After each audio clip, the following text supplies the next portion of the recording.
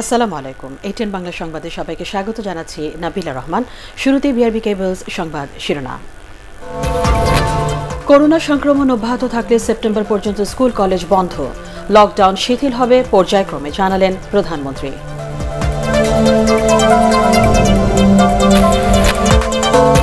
রাজধানীতে ভোগ্যপণ্যের দোকান খোলা রাখার সময় বাড়ল। কাল থেকে ইফতার সামগ্রী বিক্রি করতে পারবে রেস্তোরাঁ। ফুটপাতে বিক্রি বন্ধ।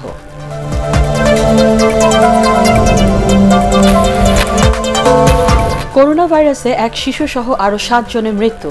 মৃতের সংখ্যা দেড়শো ছাড়ালো। নতুন আক্রান্ত চারশো সাতানব্বই জন।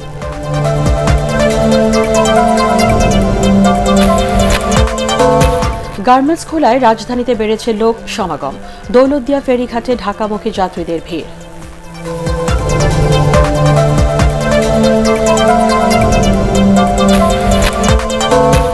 এবং গণস্বাস্থ্যের র্যাপিড কিট পরীক্ষা ছাড়া এখনই অনুমোদন দেওয়া সম্ভব নয়, জানালো ওষুধ প্রশাসন। ডাক্তার জাফরুল্লাহর বিরুদ্ধে বিভ্রান্তি ছড়ানোর অভিযোগ।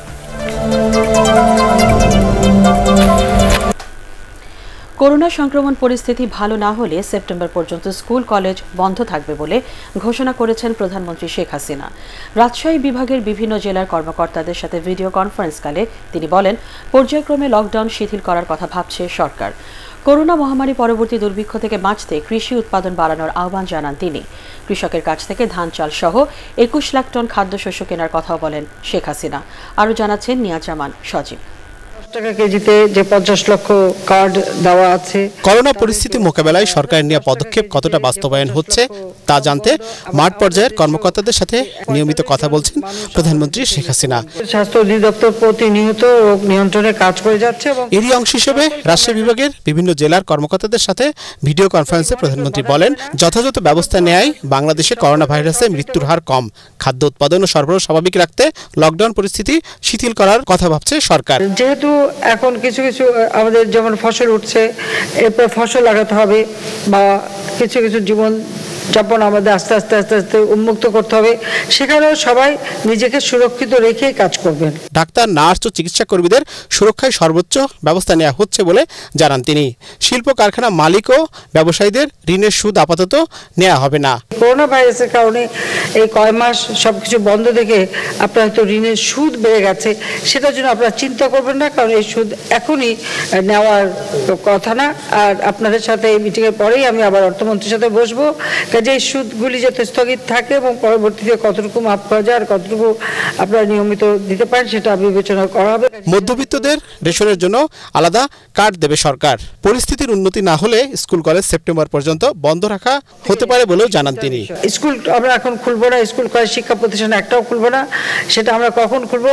অন্তত সেপ্টেম্বর পর্যন্ত এই স্কুল কলেজ সবই বন্ধ থাকবে যদি না এই করোনা ভাইরাস এখন তখন অব্যাহত থাকে। কারণ যখন এটা থামবে আমরা তখনই খুলবো প্রধানমন্ত্রী আরও বলেন করোনা পরবর্তী পরিস্থিতিতে একমাত্র কৃষি উৎপাদন বাড়িয়েই দুর্ভিক্ষ মোকাবেলা করা সম্ভব। কৃষি একমাত্র যা মানুষকে বাঁচাতে পারবে কারণ খাদ্যটা সব থেকে গুরুত্বপূর্ণ। কথাই বলে পেটে খেলে পিঠে সয় আর খাদ্যের সাথে সাথে আপনার অন্য যেমন পোলট্রি ডায়েরি এরকম যারা যারা করছেন বা এই যে দুধ আমি জানি যে সেগুলি হয়তো যেহেতু দোকানপাট হোটেল সব বন্ধ আপনারা খুব অল্প টাকায় সাধারণ মানুষের কাছে বিক্রি করে দেন। সবাই খেতে থাকুক বা দুধ দিয়ে ঘি বা অন্যান্য যা যা দরকার তৈরি করে রাখেন যেটা বহুদিন টিকে থাকবে। ফেলে না দিয়ে সেগুলি যথেষ্ট কাজে লাগানো বা মানুষকে বিলিয়ে দিলেও তো কাজে লাগে। একজন ভিক্ষুকের মানবিক উদারতার উদাহরণ তুলে ধরে প্রধানমন্ত্রী বলেন এ থেকে বিত্তবানদের অনেক কিছু শেখার আছে। সেই মানুষটা সে জমানো দশটি হাজার টাকা সে তুলে দিয়েছে। করোনা ভাইরাসে যারা ক্ষতিগ্রস্ত তাদের সাহায্যের জন্য। আমি মনে করি সারা বিশ্বে একটা মহৎ দৃষ্টান্ত তিনি সৃষ্টি করেছেন। এত বড় মানে মানবিক গুণ আমাদের অনেক বিত্তশালীর মাঝেও দেখা যায় না। নিয়াজ জামান সজীব এটিএন বাংলা ঢাকা। আগামীকাল থেকে রাজধানী প্রতিষ্ঠিত রেস্তোরাঁগুলো ইফতার বিক্রি করতে পারবে বলে জানিয়েছে ঢাকা মেট্রোপলিটন পুলিশ ডিএমপি। তবে কেউ ফুটপাতে ইফতার সামগ্রীর পসরা বসিয়ে প্রদর্শন ও বিক্রয় করতে পারবেন না। এছাড়া রেস্তোরাঁয় বসে ইফতার করা যাবে না বলেও জানানো হয়েছে ডিএমপির পক্ষ থেকে। নির্দেশনায় আরও বলা হয়, পাড়া মহল্লার ভোগ্যপণ্যের পণ্যের দোকান সকাল ছয়টা থেকে বিকাল চারটা এবং সুপার শপগুলো বিকাল পাঁচটা পর্যন্ত খোলা রাখা যাবে।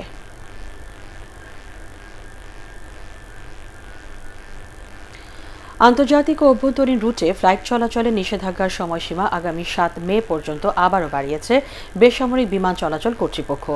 এই নিষেধাজ্ঞা অনুযায়ী Bahrain, Hong Kong, Bharat, Kuwait, Malaysia, Oman, Qatar, Saudi Arab, সংযুক্ত আরব আমিরাত যুক্তরাজ্য সহ ষোলোটি দেশের সাথে বিমান চলাচল বন্ধ থাকবে।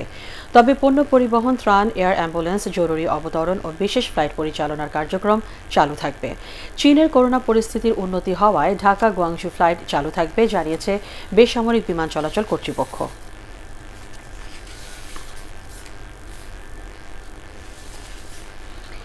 চব্বিশ ঘন্টায় করোনা ভাইরাসে দেশে মারা গেছে এক শিশু শিশুসহ আরও সাতজন। এ নিয়ে মৃতের সংখ্যা বেড়ে দাঁড়াল একশো বান্ন জনে। নতুন করে চারশো সাতানব্বই জন সহ মোট আক্রান্তের সংখ্যা দাঁড়িয়েছে পাঁচ হাজার নয়শো তেরো জনে। স্বাস্থ্য অধিদপ্তরের নিয়মিত অনলাইন বুলেটিনে এসব তথ্য জানানো হয়। এ পর্যন্ত ষাটটি জেলায় এ ভাইরাস সংক্রমিত হয়েছে বলেও জানানো হয় বুলেটিনে। আরও জানাচ্ছেন হুমান চিস্তি প্রায় সারা দেশেই ছড়িয়ে পড়েছে প্রাণঘাতী করোনা ভাইরাস স্বাস্থ্য অধিদপ্তরের হিসেব বলছে করোনা সংক্রমণের একান্নতম দিনে খাগড়াছড়ি রাঙামাটি সাতক্ষীরা ও নাটোর বাদে দেশের ষাটটি জেলা এখন করোনা আক্রান্ত। আপনাদের সামনে উপস্থাপন করব। স্বাস্থ্য অধিদপ্তরের নিয়মিত বুলেটিনে জানানো হয়েছে চব্বিশ ঘন্টায় আগের দিনের চেয়ে দশ শতাংশ বেশি পরীক্ষা করা হয়েছে। করোনা আক্রান্তের সংখ্যাও বেড়েছে প্রায় বিশ ভাগ। গত একদিনে প্রায় পাঁচশো জনের করোনা পজিটিভ পাওয়া গেছে আর সুস্থ হয়েছেন আরও নয় জন। তবে সুস্থতার এ হিসেব শুধুমাত্র হাসপাতালে ভর্তি হয়ে যারা চিকিৎসা নিচ্ছেন তাদের উপর ভিত্তি করে। গত চব্বিশ ঘন্টায় শনাক্ত হয়েছে পাঁচশোর কাছাকাছি চারশো সাতানব্বই জন এবং এ পর্যন্ত শনাক্তকৃত ব্যক্তি পাঁচ হাজার নয়শো তেরো জন। সংগৃহীত নমুনা ছিল চার হাজার একশো বিরানব্বইটি এবং আমরা পরীক্ষা করেছি তিন হাজার আটশো বারোটি। দুঃখের সাথে জানাচ্ছি, গত চব্বিশ ঘন্টায় আরও সাতজন মৃত্যুবরণ করেছেন এবং এ পর্যন্ত মৃতের সংখ্যা দাঁড়াল একশো বাহান্ন জন। আক্রান্ত ও মৃতের সংখ্যা এ পর্যন্ত সবচেয়ে বেশি ঢাকা জেলায়। স্বাস্থ্য অধিদপ্তরের হিসেবে ঢাকা মহানগরীর দশ এলাকায় সংক্রমণের হার সবচেয়ে বেশি। সবশেষ মারা যাওয়া সাতজনের মধ্যে পাঁচজনই ঢাকার। অপর দুজন সিলেট ও রাজশাহীর। যে সাতজন মৃত্যুবরণ করেছেন, ছয়জন পুরুষ, একজন মহিলা, পাঁচজনের বয়স ষাটোর্ধ, একজনের বয়স চল্লিশ থেকে একান্ন বছরের মধ্যে এবং একজন শিশু মৃত্যুবরণ করেছে, যার বয়স দশের নিচে। এখনও আমাদের ঢাকা সিটি এবং ঢাকা জেলার মধ্যেই সর্বাধিক সংখ্যক আক্রান্ত ব্যক্তিকে আমরা পেয়েছি।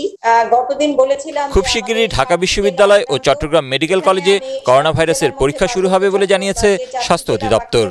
এখনও আক্রান্ত হুমায়ুন চিস্তি এটিএন বাংলা ঢাকা। কৃতজ্ঞতা জানাই যে করোনায় আক্রান্ত হয়ে নারায়ণগঞ্জে গত চব্বিশ ঘন্টায় আরও দুজনের মৃত্যু হয়েছে। আক্রান্তের সংখ্যা বেড়েছে তেত্রিশ জনে। এর মধ্যেই শিথিল করা হয়েছে শিল্পনগরী লকডাউন এছাড়া করোনা উপসর্গ নিয়ে বরগুনা ও পটুয়াখালীতে দুজনের মৃত্যু হয়েছে। লকডাউন হয়েছে কয়েকটি হাসপাতাল। জেলা প্রতিনিধিদের পাঠানো ছবি ও তথ্যের ভিত্তিতে কামরুজ্জামান রাজীবের রিপোর্ট করোনার হটস্পট নারায়ণগঞ্জে মৃত্যুর মিছিল না কমলেও লকডাউন শিথিল করে পঞ্চবটি বিসিক ও আদমজি ইপিজেড সহ শিল্পনগরীতে অধিকাংশ গার্মেন্টস চালু করা হয়েছে। গত চব্বিশ ঘন্টায় করোনা ভাইরাসে আক্রান্ত হয়ে জেলায় দুজনের মৃত্যু হয়েছে, আক্রান্ত হয়েছে আরও তেত্রিশ জন। এ নিয়ে জেলায় মৃত্যুর সংখ্যা দাঁড়িয়েছে বিয়াল্লিশ জন, আক্রান্তের সংখ্যা ছয়শো আটান্ন জন। বরগুনায় করোনা উপসর্গ নিয়ে সাতাইশ বছরের এক যুবকের মৃত্যু হয়েছে। গত তিন দিন ধরে জ্বরে আক্রান্ত ওই যুবক সোমবার সকালে শ্বাসকষ্ট নিয়ে মারা যায়। পটুয়াখালীতে করোনা উপসর্গ নিয়ে এক ইউপি সদস্যের মৃত্যু হয়েছে। শেরপুরে একজন ডাক্তার ও তিন টেকনোলজিস্ট করোনায় আক্রান্ত হয়, শেরপুর সদর উপজেলা স্বাস্থ্য ও পরিবার পরিকল্পনা কার্যালয়ে লকডাউন করা হয়েছে। তাদের সংস্পর্শে আসা বাইশ জন ডাক্তার, স্টাফ ও টেকনোলজিস্টকে হোম কোয়ারেন্টাইনে রাখা হয়েছে। গত চব্বিশ ঘন্টায় ময়মনসিংহ মেডিকেল কলেজ হাসপাতালে আরও নয়জন চিকিৎসক ও ছয়জন স্টাফ এবং সিটি কর্পোরেশন এলাকার আরও তিনজন সহ নতুন করে আঠারো জনের করোনা পজিটিভ হয়েছে। জেলায় এ পর্যন্ত উনত্রিশ জন চিকিৎসক সহ পঞ্চাশ জন স্বাস্থ্যকর্মী আক্রান্ত হয়েছে। লক্ষ্মীপুরে গত চব্বিশ ঘন্টায় আরও তিন করোনা রোগী শনাক্ত হয়েছে। এ নিয়ে মোট আক্রান্তের সংখ্যা দাঁড়াল তেত্রিশ জনে। কুষ্টিয়ার মিরপুর স্বাস্থ্য কমপ্লেক্সের একজন নারী চিকিৎসক সহ জেলায় একদিনে ছয় জনের করোনা পজিটিভ শনাক্ত হয়েছে।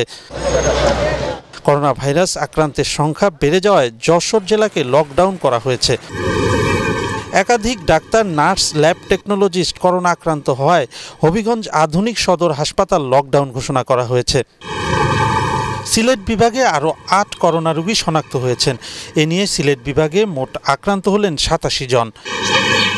ঝিনাইদহে নতুন করে একজন স্বাস্থ্য পরিদর্শক সহ আরও চারজন করোনা আক্রান্ত শনাক্ত হয়েছে। রমজানের তৃতীয় দিনে রংপুর মহানগরীতে সামাজিক দূরত্ব মানার কোনো বালাই নেই। চলাফেরা নিয়ন্ত্রণে শহরের একুশটি পয়েন্টে চেকপোস্ট বসিয়েছে পুলিশ। কামরুজ্জামান রাজীব এটিএন বাংলা। নানা অজুহাতে এখনও রাস্তায় বের হচ্ছেন নগরবাসী। আইন শৃঙ্খলা রক্ষাকারী বাহিনীর টহল দেখে ঘরের ভেতরে ঢুকছেন, টহল গাড়ি চলে গেলে আবারও আগের চিত্র। এদিকে গার্মেন্টস খোলার পর নগরীতে বেড়েছে কোলাহল ও লোক সমাগম। হাবিবুর রহমান, অভির রিপোর্ট। রোববার থেকে সীমিত আকারে খুলে দেওয়া হয়েছে পোশাক কারখানা। তাই অনেকটা ঝুঁকি নিয়েই কাজ করছেন শ্রমিকরা। ঢাকার বাইরে থেকে শ্রমিকরা যেন না আসে, কারখানা মালিকদের এই অনুরোধ। উপেক্ষা করে অনেকে এসেছেন ঢাকার বাইরে থেকে। তবে কর্তৃপক্ষের দাবি সবাইকে পর্যাপ্ত স্বাস্থ্যগত নিরাপত্তা দেয়া হচ্ছে। গতকাল ঢাকার বাইরে থেকে কিছু সংখ্যক আসছে। কুমিল্লা থেকে আসছেন গাইবান্ধা থেকে আসছেন বরিশাল থেকে অনেকে আসছেন। একটু পরপর প্রত্যেকটা ওয়ার্কার যেন সাবান দিয়ে হাত ধুতে পারে বিশ সেকেন্ড করে সে ব্যবস্থা রেখেছি। আমরা প্রত্যেকটা ওয়ার্কার ঢোকার সময় থার্মোমিটার যে মেশিনটা আছে তা দিয়ে আমরা টেম্পারেচার চেক করতেছি। কারও যদি কোনো রকম প্রবলেম হয় তাহলে আমরা কর্তৃপক্ষকে জানাচ্ছি। দেশে প্রতিদিনই লাফিয়ে লাফিয়ে বাড়ছে করোনা ভাইরাসে আক্রান্তের সংখ্যা যার বেশিরভাগই ঢাকায়। এরপরও সরকারের নির্দেশনা উপেক্ষা করে অনেকেই নানা রকম অজুহাতে রাস্তায় বের হচ্ছেন। কেউ যাচ্ছেন ব্যাংকে কেউ বা বাজার করতে। অনেকে আবার বের হয়েছেন কোনো কারণ ছাড়াই। আমি আসলাম পত্রিকার জন্য। আর ডায়াবেটিসের রুগী একটা হাঁটা হইল। ব্যাংকের কাজে তো আমাদের বের হতেই হচ্ছে। অনেক দিন পর আজকে বের হয়েছি কারণ আমার বাড়ি ভাড়া দিতে হবে লেনদেন। আমি ওই জেলা অফিস যাব আমাদের একটা কাগজ নিয়ে আসার জন্য যাব। চাপ আসলে সামলানো যাচ্ছে না। আমরা বলতেছি আবারও বারবার বের হয়ে আসতেছে। সড়কেও ব্যক্তিগত গাড়ি চলাচল বেড়েছে। রাজধানীর অনেক গুরুত্বপূর্ণ মোড়েও দেখা যায়নি পুলিশের কোনো checkpost. Habibur Rahman Avi ATN Bangla Dhaka. Lockdown উপেক্ষা করে দৌলতদিয়া ফেরিঘাটে ঢাকামুখী যাত্রীদের ভিড় বেড়েছে। পুলিশের কোনো তৎপরতা না থাকায় সামাজিক দূরত্ব না মেনে ফেরিতে পার হচ্ছেন যাত্রীরা। মহাসড়কে গণপরিবহন না থাকলেও ব্যাটারি চালিত অটোরিকশা ও টেম্পুতে বিভিন্ন স্থান থেকে দৌলতদিয়া ফেরিঘাটে আসছেন যাত্রীরা। বিআইডব্লিউটিসি কর্তৃপক্ষ জানিয়েছে, গত তিন দিন ধরে ফেরিঘাটে ঢাকামুখী যাত্রীদের তীব্র চাপ শুরু হয়েছে। এর মধ্যে ঢাকা থেকেও ফিরছেন অনেকে।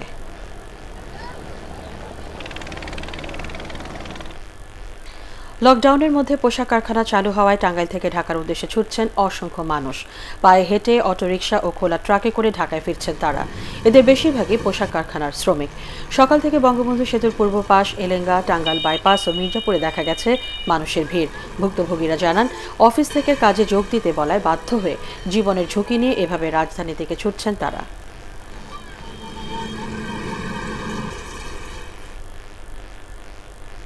বকেয়া বেতন ভাতার দাবিতে গাজীপুরে বিক্ষোভ করেছে পোশাক শ্রমিকরা। সকাল থেকে ভোগড়া এলাকার ওয়েলবন ও মিকনিট সহ প্রায় দশটি কারখানার শ্রমিকরা ঢাকা ময়মনসিংহ মহাসড়ক অবরোধ করে বিক্ষোভ করে।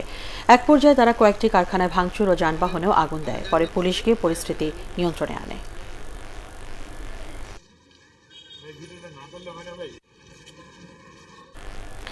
রমজানে মিথ্যাচারের রাজনীতি পরিহার করতে বিএনপির প্রতি আহ্বান জানিয়েছেন তথ্যমন্ত্রী ও আওয়ামী লীগের যুগ্ম সাধারণ সম্পাদক ডক্টর হাসান মাহমুদ।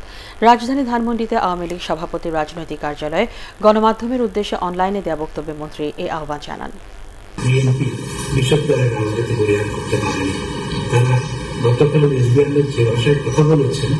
আমি যে এই রমজান মাসে একটু হওয়ার জন্য রমজান মাসে মিথ্যাচারে এবং বিষদ্বারের রাজনীতি পরিহার করে ঐক্যবদ্ধভাবে আমরা সবাই মিলে জনগণের পাশে দাঁড়ানো প্রয়োজন।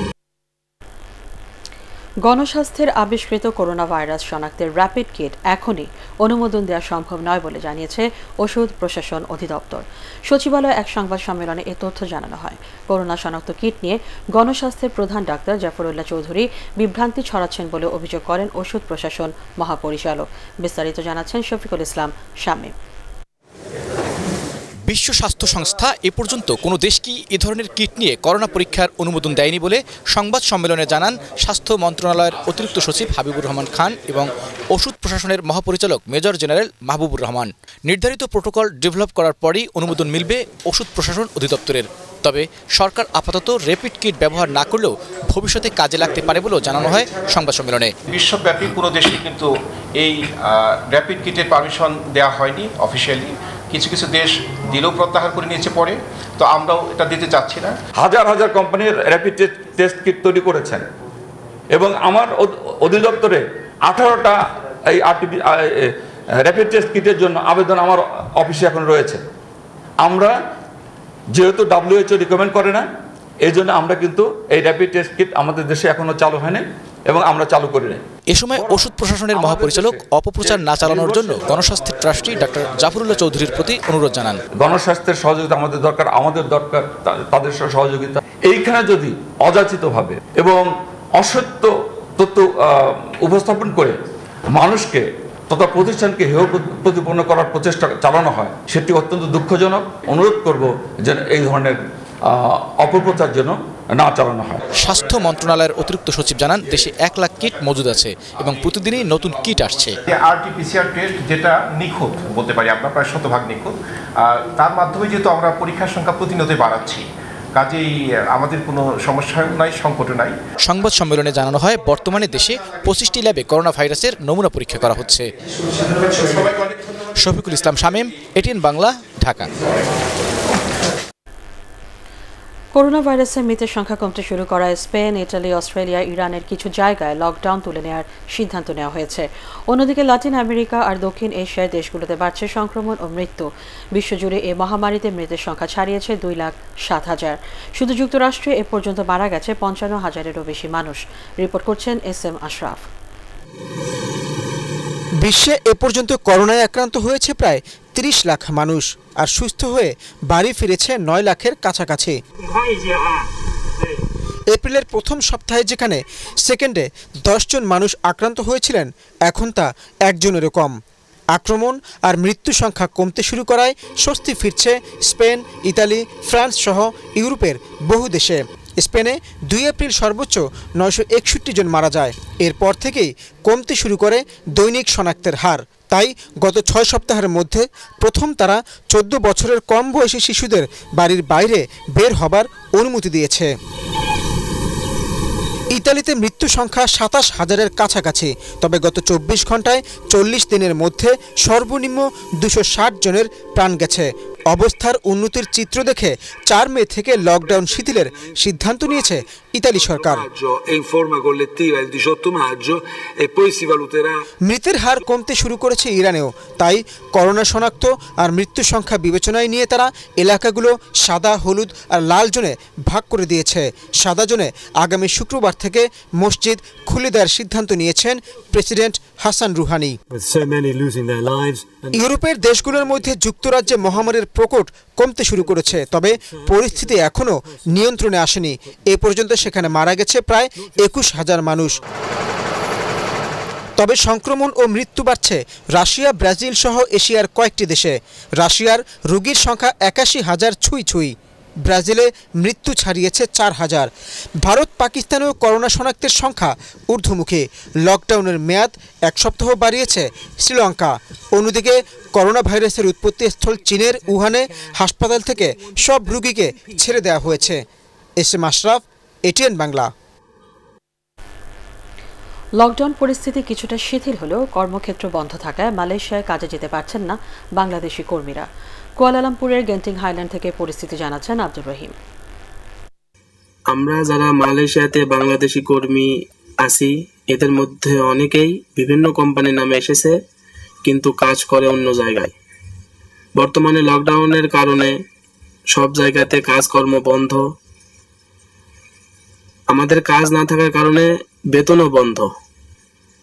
এমতো অবস্থায় আমাদের খাদ্যের সমস্যা, টাকা না থাকার কারণে খাদ্য ক্রয় করা সম্ভব হচ্ছে না। এমত অবস্থায় বাংলাদেশ সরকারের উচিত মালয়েশিয়া সরকারের একদম হায়ার লেভেলের সাথে আলোচনা করে এ সমস্ত শ্রমিকদের জন্য খাবারের ব্যবস্থা এবং সাহায্য সহযোগিতার ব্যবস্থা করা উচিত। যদি এটা না করা হয় তাহলে প্রায় এক লক্ষ শ্রমিক মালয়েশিয়ার বিভিন্ন জায়গাতে কাজ করে। তারা দুর্বিষহ জীবনযাপন করবে।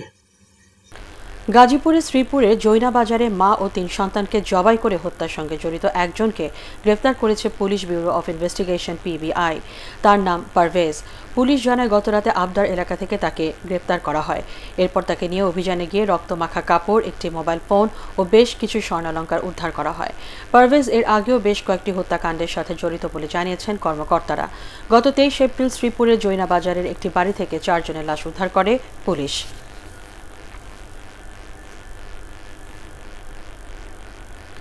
লকডাউনের মধ্যে প্রশাসনের নির্দেশনা অমান্য করে ঠাকুরগাঁওয়ে চলছে ইট ভাটার কাজ। জেলায় শতাধিক ইট ভাটায় করোনা ঝুঁকি নিয়ে কাজ করছে বিশ হাজারেরও বেশি শ্রমিক। এরই মধ্যে জেলায় করোনা রোগী শনাক্ত হয়েছে ছয়জন ঠাকুরগাঁও থেকে ফিরোজ আমিন সরকারের রিপোর্ট, জানাচ্ছেন ইশরাত লিমা। উত্তরের জেলা ঠাকুরগাঁয়ে ভারী কোনো শিল্প কারখানা না থাকায় বিপাকে পড়েছে নির্ময়ের খেটে খাওয়া মানুষ। দিন আনে, দিন খায় এমন মানুষগুলো বাধ্য হয়ে কাজ করছে ইটভাটায় করোনা সংক্রমণ রোধে ভাটাগুলোতে নেই কোনো নিরাপত্তা ব্যবস্থা। মানা হচ্ছে না শারীরিক দূরত্ব। গতানুগতিক নিয়মেই ভাটাগুলোতে কাজ করছেন শ্রমিকরা। মালিকরা বলছেন একবার আগুন দিলে বাধ্য হয়ে ছয় মাস চালাতে হয় ইটভাটা আর শ্রমিকরা বলছেন পেটের দায়ী স্বাস্থ্য ঝুঁকি নিয়ে কাজ করছেন তারা। এই ভাড়া চলার অবস্থায় সরকার যে পদক্ষেপ নিচ্ছে এই পদক্ষেপ অনুযায়ী আমরা তো চলতে পারব না। আমরা খাব কি? একদিন না কাজ করলে আমাদের সংসার প্রচলিত। যায় মানে কীভাবে চলবে? যদি আমরা ঘরে বসে থাকি তাহলে তো আমাদের বউ বাচ্চা না খেয়ে মারা যাবে। ভাটার মালিক আমাদেরকে স্বাস্থ্য সুরক্ষার জন্য তো আমাদেরকে কিছুই দেয়নি। অন্যদিকে স্বাস্থ্য বিভাগ বলছে প্রশাসনের নির্দেশনা না মানলে করোনা সংক্রমণ ঠেকানো সম্ভব হবে না। এই মহামারীর সময় কারখানাগুলো বন্ধ রাখার পরামর্শ দেন জেলা স্বাস্থ্য বিভাগ। আমাদের শ্রমিকেই হোক অথবা কোনো প্রতিষ্ঠানেই হোক অথবা আমাদের হাট বাজার যেখানেই বলেন না কেন যদি সামাজিক দূরত্বটা মেনটেন করা না হয় এবং এই স্বাস্থ্যবিধি যদি মেনে না চলে তাহলে আমরা সবাই ঝুঁকিতে থাকব। আর প্রশাসন বলছে আদেশ অমান্যকারী ইটভাটা কর্তৃপক্ষের বিরুদ্ধে আইন অনুযায়ী ব্যবস্থা নেওয়া হবে। সরকারি নির্দেশনা মতে এখন কোনো ইট ভাটা চলবে না কারণ ইট ভাটা কোনো জরুরি সেবা নয় এবং যেহেতু এখন কনস্ট্রাকশন কাজও হচ্ছে না সেহেতু এটি বন্ধ থাকবে এবং কেউ যদি চালু রাখে সে সেক্ষেত্রে আমরা তার বিরুদ্ধে আইনি ব্যবস্থা গ্রহণ করব। শ্রমিকদের মধ্যে করোনা ভাইরাসের সংক্রমণ রোধে দ্রুত প্রয়োজনীয় ব্যবস্থা নেওয়ার দাবি জানিয়েছে ঠাকুরগাঁওবাসী। Bureau report ATN Bangla. পূর্ব ঘোষণা অনুযায়ী সরকারি ক্রয় কেন্দ্রে কেনা শুরু না হওয়ায় কম দামে ধান বিক্রি করতে বাধ্য হচ্ছেন সুনামগঞ্জের কৃষকরা। রোববার থেকে এগারোটি উপজেলায় ধান ক্রয় শুরু করার কথা ছিল। কৃষকদের অভিযোগ, দালাল ও মিল মালিকদের কম দামে কেনার সুযোগ করে দিতেই ধান কেনার তারিখ পেছানো হয়েছে। সুনামগঞ্জ প্রতিনিধি পঙ্কজদের ছবি ও তথ্যের ভিত্তিতে কামরুজ্জামান রাজীবের রিপোর্ট। সুনামগঞ্জে এবার বোরো ধানের ফলন ভালো হয়েছে। কৃষি বিভাগ জানিয়েছে, জেলায় প্রায় দুই লাখ বিশ হাজার হেক্টর জমিতে চাষাবাদ হয়েছে। তাদের ধারণা, ধানের উৎপাদন হবে বারো লাখ টনের বেশি। এর অর্ধেক ধানই কাটা শেষ হয়েছে। তবে এমন সুখবরের মধ্যেও দুশ্চিন্তার ভাঁজ কৃষকের কপালে। তারা জানিয়েছেন এক পন ধান উৎপাদনে এবার খরচ ছয়শো থেকে সাড়ে ছয়শো টাকা। কিন্তু সরকার ধান কিনতে দেরি করায় বিক্রি করতে হচ্ছে পাঁচশো থেকে সাড়ে পাঁচশো টাকা মনে। ক্রয়ের জন্য সরকার বাহাদুর একটা প্রক্রিয়া চালাচ্ছে। তবে প্রকৃত কৃষকরা কিন্তু এই এই গুদামে দান দেওয়া থেকে বঞ্চিত হইতেছে। আমরা দান নিয়ে গেলে ফরিয়াদের কারণে আমি, আমরা ওদের ঠান্ডায় ফিরতে পারি না। যে ধানগুলো ওই খেতে, ওগুলো দাম পাওয়া যায় না। আর সরকার এখন ধানের দাম বাড়ায় না। সংশ্লিষ্টরা বলছেন, গ্রামের অসাধুর দালাল চক্র এবং সরকারি ক্রয়কেন্দ্রের অসৎ কর্মকর্তাদের যোগসাজশে ন্যায্য মূল্যে কৃষকদের ধান ক্রয়ে বিলম্ব হচ্ছে। ধান কেনায় স্বচ্ছতা নিশ্চিত করার দাবিও জানান তারা। আমাদের হাওড়ের যে কৃষকের ধান, সেটা যেহেতু সরকার কিনবে, সেই ক্ষেত্রে শুধু বারবারই বলা হয় যে লটারি করা হবে। কিন্তু আমার কথা হলো যে প্রথমে লটারি করলে শুধু চলবে না। লটারি করার আগে নামের যে লিস্ট হবে, এই লিস্টের পাশে কৃষের কৃষকের কতটুকু জমি আছে এবং কতটুকু ধান উৎপাদন হতে পারে, সেটা আগে তালিকা করতে হবে কৃষক এত কষ্ট করে ধান তুলবে, মাননীয় প্রধানমন্ত্রী এত কষ্ট করবেন, আর সেখান থেকে আমাদের দালালরা বিভিন্ন সুযোগ সুবিধা নিবে, সেটা হতে দেওয়া যাবে না। জেলা ধান ক্রয় কমিটির সভাপতি জেলা প্রশাসক মোহাম্মদ আব্দুল আহাদ জানালেন কৃষকদের তালিকা প্রস্তুত না হওয়ায় রোববার থেকে ধান কেনা শুরু করা যায়নি। আগামী তিরিশ তারিখের মধ্যে উপজেলা কমিটি এই প্রকৃত কৃষকের তালিকাটাই সম্পূর্ণ করবেন এবং পাঁচ তারিখের পর্যন্ত আমরা সময় দিয়েছি যাচাই বাছাই করে শেষ করবে এবং এরপর আমরা লটারির মাধ্যমে প্রকৃত কৃষকের তালিকাটি থেকে আমরা এটি অগ্রাধিকারের তালিকা তৈরি করব। এবং সেখান থেকে আমরা একজন কৃষক সর্বোচ্চ তিন টন পর্যন্ত ধান খাদ্য গুদামে সরবরাহ করার সুযোগ পাবে। চলতি মৌসুমে ২৬ টাকা কেজি দরে সারা দেশে আট লাখ টন ধান কিনবে সরকার। প্রতি মন ধানের দাম নির্ধারণ করা হয়েছে এক হাজার চল্লিশ টাকা। কার্যক্রম চলবে আগামী একত্রিশ আগস্ট পর্যন্ত। কামরুজ্জামান রাজীব, এটিএন বাংলা। প্রধান সড়কের পাশে না বসলেও নিষেধাজ্ঞা থাকা সত্ত্বেও রাজধানীর বিভিন্ন এলাকায় বসেছে ইফতারির দোকান। এর ফলে প্রাণঘাতী করোনা ভাইরাস সংক্রমণের ঝুঁকি বাড়ার আশঙ্কা করছেন অনেকেই। ক্রেতা ও বিক্রেতা উভয়ই দেখাচ্ছেন নানা অজুহাত। বিস্তারিত শারমিন রিহার রিপোর্টে। রাজধানীর তেজকুনিপাড়া এলাকা। করোনা ভাইরাস প্রতিরোধে বাসার বাইরে বের হওয়ার নিষেধাজ্ঞার মধ্যেই নানা রকম ইফতারির পসরা সাজিয়ে বসেছেন দোকানে। ভিড় করে অনেকেই কিনছেন ইফতারি। একই অবস্থা রাজধানীর বিভিন্ন অলিতে গলিতে। বিক্রেতারা বলছেন নিজেদের খাবার জোগাতেই স্বল্প সময়ের জন্য দোকান খুলছেন তারা এবং তারা সামাজিক দূরত্ব বজায় রেখে বিক্রি করছেন। সবাই তো নিষেধাজ্ঞা দিছে। এখন কি করব? পেটে তো নিষেধাজ্ঞা মানতেছে না। পেটে কি নিষেধাজ্ঞা মানতেছে? যতটুকু সম্ভব দূরত্ব বজায় রাখতেছি। দেড় মাস তো দোকান বন্ধ। আমাদের কিছু তো করার নাই এখন আর কি করব? কাস্টমার নাই একেবারেই নাই। আপনি দেখছেন কোনো কাস্টমারই নাই কিন্তু। সামাজিক দূরত্ব না মেনেই অনেক ক্রেতাই কিনছেন ইফতারি। তারা বলছেন ঘরে ইফতার তৈরির উপায় না থাকায় ঝুঁকি নিয়েই ইফতারি কিনছেন তারা। অফিসতে আইছি এখন। এখন আমরা বানাবো কখন? গার্মেন্টসে চাকরি করি না। অফিস খুলছে অফিসতে আসছি আসার পরে এখানে আসছি এখন। বাসায় আনতে একটু দেরি হইব আনব দূরের থেকে। এই জন্য আমি চলে এসেছি দোকান থেকে। এমন পরিস্থিতিতে ফুটপাতে যাতে ইফতারির দোকান বসতে না পারে, সেজন্য প্রশাসনকে কঠোর পদক্ষেপ নেওয়ার আহ্বান জানান অনেকেই। শুধু বিক্রেতা বা ক্রেতা নয়, নিজ নিজ অবস্থান থেকে প্রতিটি নাগরিকই সচেতন না হলে করোনা ভাইরাসের সংক্রমণ ঠেকানো সম্ভব হবে না বলে মনে করছেন অনেকেই। আর এজন্যই এসব দোকান পরিহার করা প্রয়োজন বলেও বলছেন এসব ক্রেতাদের মধ্যে কেউ কেউ। শারমিন রিহা, এটিএন বাংলা, ঢাকা। ঠাকুরগাঁওয়ে করোনা ভাইরাসের প্রাদুর্ভাবে কর্মহীনদের মাঝে নিম্নমানের চাল বিতরণের অভিযোগ পাওয়া গেছে। স্থানীয়দের অভিযোগ, এলাকার কর্মহীনদের সহায়তা প্রদানে ইউপি সদস্য গোলাম রাব্বানি স্থানীয় বিত্তবানদের কাছ থেকে চাঁদা তুলে সেই টাকায় নিম্নমানের চাল কিনে তিনশো বাষট্টি জনের মাঝে বিতরণ করেন। সেই চাল রান্না করলে দুর্গন্ধের কারণে খাওয়া যাচ্ছে না। ওই চাল ফেরত নিয়ে আসলে ইউপি সদস্যের লোকজন তাদের ওপর চড়াও হয়। এ সময় ধাক্কাধাক্কি ঘটনাও ঘটে। পরে পুলিশ এসে পরিস্থিতি নিয়ন্ত্রণে আনে। চার নং ওয়ার্ডের কিছু গণ্যমান্য ব্যক্তিদের কাছ থেকে কালেকশন করছে বাহাত্তর হাজার টাকা। এই বাহাত্তর হাজার টাকার সোয়াব চেয়ারম্যান রব্বানি মেম্বার মিলে চাল কিনে আমাদেরকে চাল কালকে বরাদ্দ দিচ্ছে।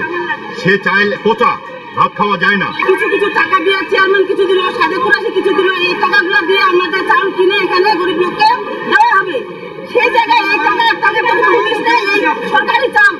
যেগুলো সরকার দিয়ে যে গরিব থেকে ওই চাউল আসে, এখানে পচা চালগুলো সবাইকে চার কেজি আটশো গ্রাম করে চাল দিচ্ছে। করোনা ভাইরাসের কারণে বাংলাদেশ ফুটবল ফেডারেশনের ক্ষতি হয়েছে পাঁচ থেকে সাত কোটি টাকা। বর্তমান পরিস্থিতিতে বাফুফের আর্থিক অবস্থা তুলে ধরতে গিয়ে এমনটাই জানালেন সাধারণ সম্পাদক আবু নাইম সোহাগ। তিনি বলেন, লিগ ও স্কুল প্রতিযোগিতা সহ অন্য যে খেলাগুলো চলছিল সবই এখন বন্ধ। আবার কবে শুরু হবে তারও ঠিক নেই। বিষয়টি ফিফা ও এএফসিকে জানানো হয়েছে বলেও উল্লেখ করেন তিনি। বলা যায় ফিফা বা এফসি থেকে আমরা আসলে কোনো আর্থিক সাবসিডি পাবো বা পাচ্ছি এই জিনিসটা ঠিক না। বাট অবশ্যই এটার সাথে বলতে চাই যে আমাদের যে টাকাগুলো ফিফা থেকে এখন আমরা পাবো কিছু টাকা হয়তো অ্যাডভান্স পাবো, এটা দিয়ে আমরা আমাদের যে দৈনন্দিন যে বিভিন্ন কার্যক্রম রয়েছে অ্যাডমিনিস্ট্রেটিভ ইস্যুস রয়েছে অপারেশনাল ইস্যুস রয়েছে, সেই জিনিসগুলো আমরা নির্বিঘ্নে সম্পাদন করব। সেই বিষয়টাতে আমাদের জন্য হেল্পফুল হবে। করোনা ভাইরাস সংকট কেটে গেলে বিভিন্ন দেশের ক্রিকেট বোর্ডের পাশে দাঁড়াতে চায় ভারতীয় ক্রিকেট কন্ট্রোল বোর্ড, বিসিসিআই। তাদের পক্ষ থেকে জানানো হয়, ঘরের মাঠে একটি ম্যাচ আয়োজন করলে প্রায় সাতষট্টি লাখ টাকা আয় হবে তাদের। দ্বিপক্ষীয় সিরিজে প্রতিপক্ষ দলগুলোকে সেই আয়ের একটা অংশ দেওয়ার পরিকল্পনা করছে বিসিসিআই। এছাড়া ভবিষ্যতে দ্বিপক্ষীয় সিরিজ শিডিউলের বাড়তি ম্যাচ যোগ করবে তারা। সেখান থেকেও পাওয়া অর্থ দেওয়া হবে অন্য বোর্ডগুলোকে।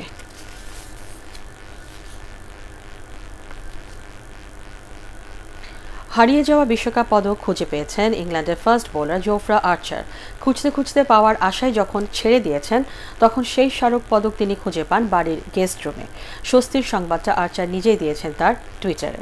বিশ্বকাপ পদকের ছবি দিয়ে লেখেন, বাড়ির গেস্ট রুমে পদকটা খুঁজছিলাম, বাজিমাত সেখানেই। বাড়ি বদলের সময় সপ্তাহ আগে ক্রিকেট বিশ্বকাপ জয়ের এই মূল্যবান স্মারক হারিয়ে ফেলেছিলেন ইংলিশ পেসার।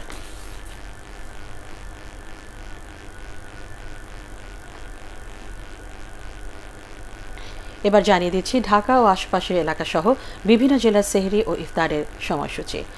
আজ ঢাকায় সেহরি শেষ সময় রাত চারটা দুই মিনিটে। রাজশাহীতে চারটা সাত মিনিট, সিলেটে তিনটা তেপ্পান্ন মিনিট, চট্টগ্রামে রাত চারটা, খুলনায় চারটা আট মিনিট, বরিশালে চারটা চার মিনিট, রংপুরে চারটা এক মিনিট এবং ময়মনসিংহে সেহরির শেষ সময় তিনটা উনষাট মিনিটে। আগামীকাল ঢাকায় ইফতার সন্ধ্যা ছয়টা উনত্রিশ মিনিটে, রাজশাহীতে ছয়টা ছত্রিশ মিনিট, চট্টগ্রামে ছয়টা বিশ মিনিট, সিলেটে ছয়টা চব্বিশ মিনিট, খুলনায় ছয়টা আঠাশ মিনিট, বরিশালে ছয়টা সাতাশ মিনিট, রংপুরে ছয়টা ছত্রিশ মিনিট এবং ময়মনসিংহে ইফতার সন্ধ্যা ছয়টা তিরিশ মিনিটে। শেষ করার আগে বিআরবি কেবলস সংবাদ শিরোনাম জানিয়ে দিচ্ছি আরেকবার। করোনা সংক্রমণ অব্যাহত থাকলে সেপ্টেম্বর পর্যন্ত স্কুল, কলেজ বন্ধ। লকডাউন শিথিল হবে পর্যায়ক্রমে, জানালেন প্রধানমন্ত্রী।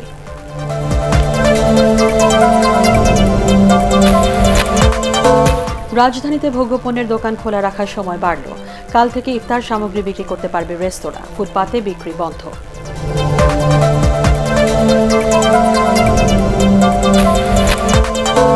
করোনা ভাইরাসে এক শিশু সহ আরও সাতজনের মৃত্যু। মৃতের সংখ্যা দেড়শো ছাড়ালো। নতুন আক্রান্ত চারশো সাতানব্বই জন।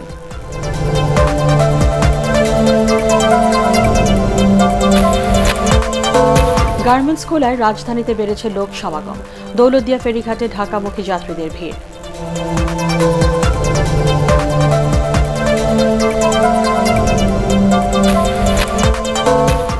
এবং গণস্বাস্থ্যের র্যাপিড কিট পরীক্ষা ছাড়া এখনই অনুমোদন দেওয়া সম্ভব না জানালো ওষুধ প্রশাসন। ডাক্তার জাফরুল্লার বিরুদ্ধে বিভ্রান্তি ছড়ানোর অভিযোগ।